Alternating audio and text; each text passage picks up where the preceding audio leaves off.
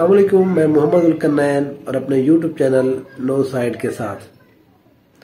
अगर आप मेरे यूट्यूब चैनल के ऊपर नए हैं तो प्लीज़ सब्सक्राइब कीजिए और लाइक के बटन को दबा दीजिए।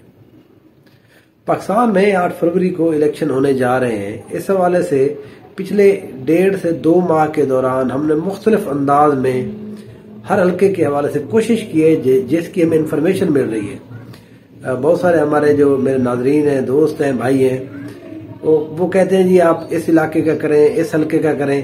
तो उसमें लेट या अभी तक हम उसको इसलिए नहीं कर पाते क्योंकि हमारे पास उसकी इन्फॉर्मेशन ज़्यादा बेहतर नहीं पहुँचती। इंफॉर्मेशन आ ज़रूर रही होती है, लेकिन हम उसको क्रॉस चेक करने में हमें थोड़ा सा मसला होता है, इसलिए हम कोशिश करते हैं कि वो इन्फॉर्मेशन अपने नाजरन के साथ शेयर न करें। अब हम आज से हम एक और स्टाइल के अंदर भी चीज़ों को अब करना शुरू है। जैसे जैसे इलेक्शन करीब आता जा रहा है मुल्क के अंदर जो बहुत सारे लोग हैं, अब वो ये जानना चाह रहे हैं कि कहाँ पर किस पार्टी की पोजीशन बेहतर है क्या क्या सूरत हाल चल रही है। इस हवाले से हम दो मुख्तलिफ़ अंदाज में अब जो वीडियोज़ हैं, वो हमारी आपके साथ में शेयर करता रहूँगा अपने वीलॉग एक के अंदर हम पाकिस्तान के जो 50 तगड़े तगड़े मुकाबले हैं, जो हमारी नज़र में, मेरी नज़र में, जो पाकिस्तान के सबसे अच्छे जो इस दफ़ा मुकाबले होंगे जिनकी नज़र पूरे पाकिस्तान के अवाम की होगी, वो पचास हल्के हैं जो मैं, मेरी नज़र के अंदर है। उनको हम आहिस्ता आहिस्ता से हर हल्के के हवाले से मैं आपको एनालिसिस पेश करता रहूँगा। कोशिश करेंगे तीन तीन जो हल्के हैं, हर वी लाख के अंदर हम शामिल करें।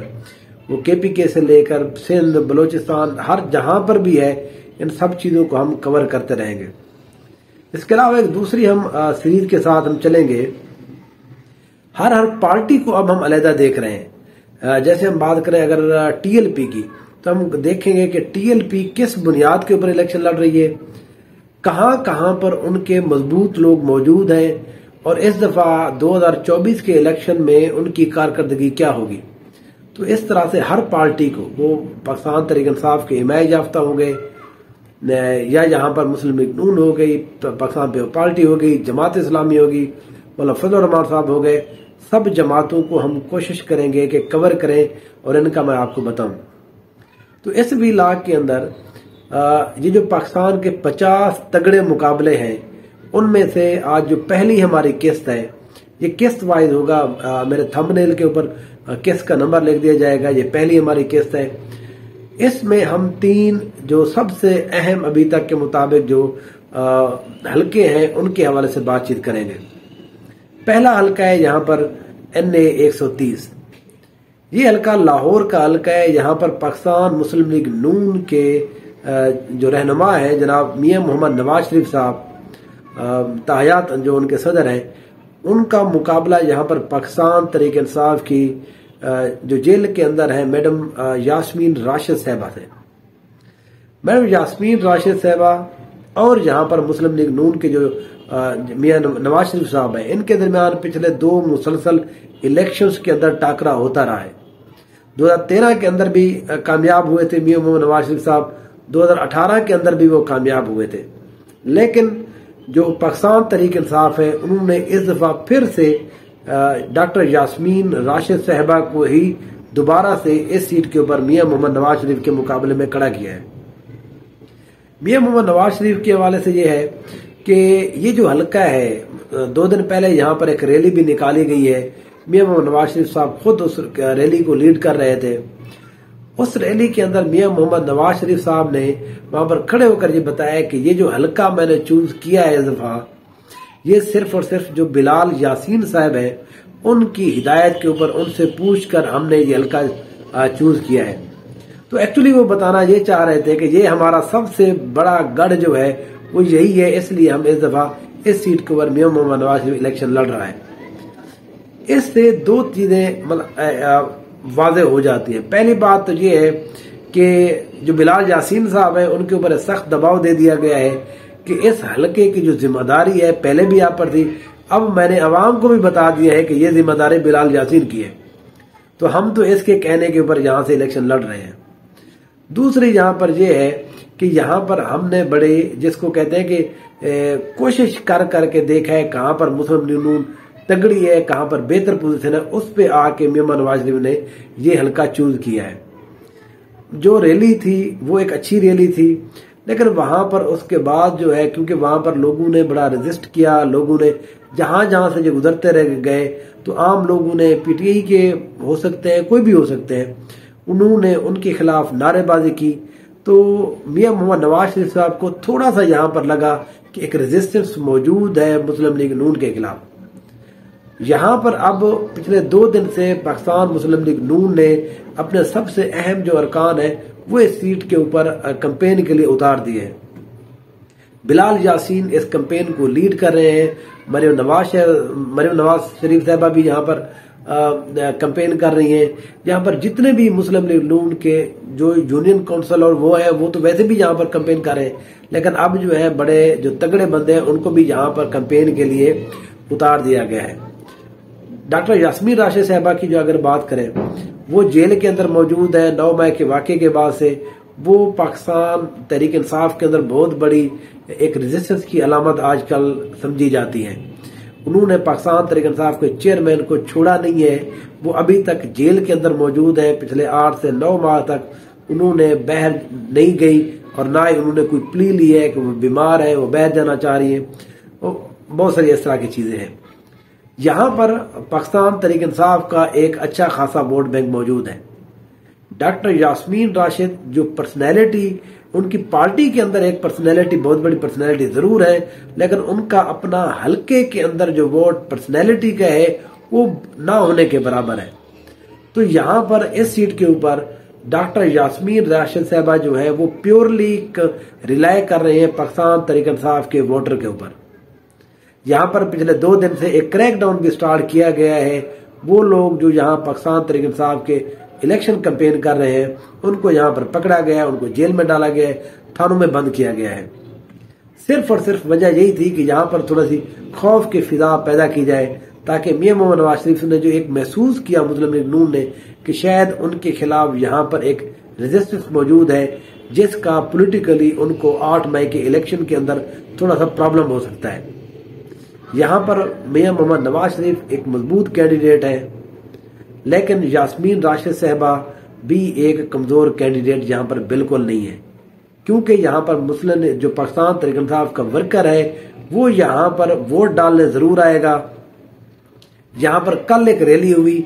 इस हलके के अंदर भी जो रैली हुई है, वो बड़ी अच्छी रैली निकाली गई पाकिस्तान तरीक इंसाफ की तरफ़ से। तो इसलिए ये वो हल्का है जहाँ पर इस दफ़ा पाकिस्तान की तकरीबन हर जो मीडिया चैनल है आम लोग हैं उनकी इस हल्के के ऊपर एक नज़र रहेगी। दूसरा जो हल्का है जहाँ पर आ, वो एक गुजरात का हम हल्का बात कर रहे हैं। गुजरात का हल्का है एन ए चौसठ। इसकी जो अगर हदूद की बात करें ये वो हल्का है जो गुजरात तहसील का एरिया फिर यहाँ पर जो म्यूनसिपैलिटी है गुजरात वो फिर कुछ जो तहसील कुंजा हाउस जो है जो कुंजा तहसील है उसका भी एरिया इसमें आता है। इस सीट के को एक्चुअली फैसला होगा कि मुस्लिम लीग काफ जो पहले होती थी, जो अब डिवाइड होकर पाकिस्तान तरीके इंसाफ का एक हिस्सा हिस्सा बन चुके हैं, चौधरी परवेज साहब चुजा हुसैन उसी तरह से काफ लीग के अंदर मौजूद है। उनके साथ उनके भाई चौधरी वजात हुसैन मौजूद है। ये फैसला करेगा कि गुजरात की सियासत का असल जो चौधरी है वो कौन है? और वो यही वो हल्का है जो फैसला करेगा। यहाँ पर पाकिस्तान तरीके इंसाफ के हिमायत याफ्ता चौधरी परवेज इलाई साहब की जो वाइफ है, कैसरा इलाई साहबा, वो यहाँ पर इलेक्शन कंपेन कर रही है। अब सुप्रीम कोर्ट ने, क्योंकि यहाँ पर परवेज इलाई साहब के कागजात जो है वो मंजूर कर लिए हैं, लेकिन अभी तक ये फैसला नहीं हुआ कि क्या चौधरी परवेज इलाई साहब एज ए कैंडिडेट होंगे या कैसरा इलाई साहबा। मेरा अपना ये ख्याल है कि शायद कैसरा इलाई साहबा ही यहाँ पर कैंडिडेट होंगी। दूसरा इनके जो मुकाबले में है चौधरी शुजात हुसैन के बेटे चौधरी सालेक हुसैन। अब इस सीट के ऊपर जो गवर्नमेंट मशीनरी है, वो वो फुल सपोर्ट कर रही है चौधरी शुजात साहब के बेटे चौधरी सालेक हुसैन साहब को। इसके मुकाबले में पाकिस्तान मुस्लिम तहरीक इंसाफ के जो कैसरा इलाई साहबा है, उनके घर के ऊपर रेड किए जाते हैं, उनके लोगों को उठाया जा रहा है, उनको शदीद दबाव दिया जा रहा है। चौधरी प्रवेश के हवाले से भी हम देखते हैं, वो भी जेल में है। यहाँ पर कंपेन के लिए वो खुद यहाँ पर मैदान में है। यहाँ पर कैसरा इलाही को ही मैदान में उतारने का पहला जो बुनियादी मुझे मेन मकसद नज़र आता है, वो यही है, क्योंकि कैसरा इलाही एक्चुअली जहूर इलाही की बेटी है। चौधरी ज़रूर, जहूर इलाही जो जो चौधरी बिरादरान है, उनकी सियासत वहीं से शुरू होती है। तो इसलिए चौधरी जहूर इलाही की बेटी को ही यहाँ पर नामजद करने का मकसद एक्चुअली यही है कि चौधरी जहूर इलाही की सियासत की जो असल वारिस है, वो परवेज इलाही, वो मोनस इलाही और कैसरा इलाही साहबा ही है। इनके मुकाबले में जो चौधरी शुजा हुसैन के बेटे हैं, सालेक हुसैन, वो पिछली दफ़ा जिमनी इलेक्शन के अंदर वो फिर कौमी असम्बली में पहुँच चुके थे चकवार वाली सीट के ऊपर। इस सीट के ऊपर चौधरी जो शुजात हुसैन है, यहाँ पर गुजरात के अंदर ज़्यादा उनका असर सुख नहीं रहा। क्योंकि परवेज अली साहब ने काफ लीग की सियासत को सबसे ज़्यादा वो कंट्रोल वही करते थे मैनेज वही करते थे। इसलिए बहुत सारे जो लोग हैं, वो शुजात हुसैन के बजाय यहाँ पर मोनस इलाही या चौधरी परवेज इलाही के ज़्यादा हामी है। इसलिए यहाँ पर ये ये कयास किया जा रहा है कि चौधरी परवेज इलाही इस सीट के ऊपर उनकी जो फैमिली है, जो कैसरा इलाई साहबा है, वो इस सीट के ऊपर एक बेहतर और सबसे अच्छी और तगड़ी कैंडिडेट है। यहाँ पर मुस्लिम लीग नून ने अभी तक फैसला नहीं किया उन्होंने टिकट नहीं दिए अपने लोगों को, लेकिन उनके जो पार्टी के लोग हैं, यहाँ पर आज़ाद हैसियत में कंटेस्ट कर रहे हैं। अभी तक फैसला नहीं हुआ।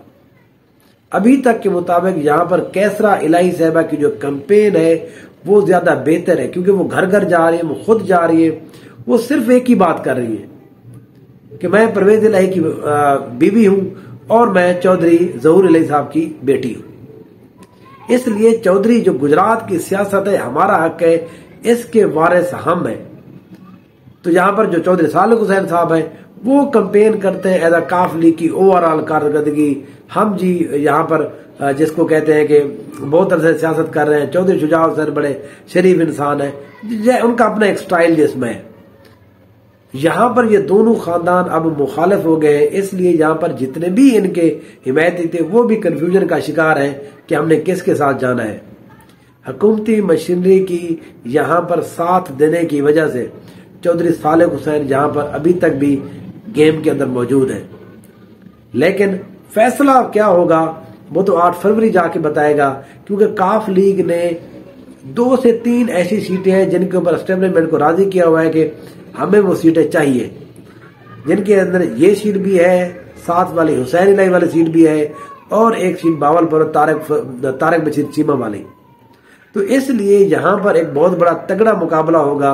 यहाँ पर हमेशा से लड़ाई झगड़े रहते हैं, लेकिन इस बार विद इन चौधरी बिरादरान जो लड़ाई है, वो इलेक्शन के दिन कैसे होगी, क्या वो एक दूसरे का रख रखाव करेंगे, या हम जिस तरह से सियासत को देख रहे हैं, उसी तरह से सख्त होगी उस दिन भी, ये आठ फरवरी को पता चलेगा। आखिरी जो हल्का है इस विलाग के अंदर, वो एक हल्का है कराची का। कराची वेस्ट का एक हल्का है यहाँ पर एम क्यू एम के रहनमा अमीन हक का मुकाबला यहाँ पर जमात इस्लामी के हाफिज नईम रहमान के दरमियान है। इस सीट के ऊपर पाकिस्तान तरीक इंसाफ की तरफ़ से मलिक आरिफ अवान साहब मौजूद हैं। क्योंकि ये वेस्ट का इलाका ये जो है, यहाँ पर पाकिस्तान तरीके साहब ने भी पिछली दफ़ा अच्छी कारकर्दगी दिखाई थी, लेकिन अमीन हक यहाँ पर से एम एन ए मुंतब हुए थे। लेकिन जो यहाँ पर जो बल्दियाती इलेक्शन हुए हैं, उसके अंदर जिस तरह से नईम रहमान एक बड़े रहनुमा के तौर पर उभर कर आए हैं, जिस तरह से जमात इस्लामी ने यहाँ पर एक कारकर्दगी दिखाई है, इसलिए यहाँ पर ये कयास किया जा रहा है कयास किया जा रहा है कि यहाँ पर एक अच्छा और तगड़ा मुकाबला होगा। मलिक आरिफ अवान अभी तक इस सीट के ऊपर तीसरे नंबर के ऊपर मौजूद है। यहाँ पर नईम रहमान की गिरफ्त अच्छी है, यहाँ पर उन्हें कंपेन भी अच्छी की है, यहाँ पर जो यूनियन के जो नाजिम है, वो भी इन्हीं के यहाँ पर बंदे मुंतखब हुए थे, क्योंकि एम क्यू एम ने जो बल्दियाती इलेक्शन था, उनका बाइकआउट किया था।